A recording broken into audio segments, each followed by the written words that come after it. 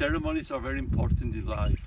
Uh, because with ceremonies you fix something you have in your mind, you can fix it with the ceremony, and then it can go inside it's in reality.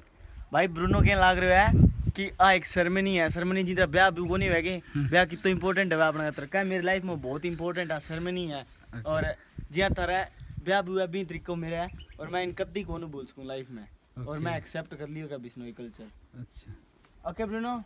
Thank you. Thank you. Thanks for give your Thank, views. Yeah. And please share more and more this video. Thank you.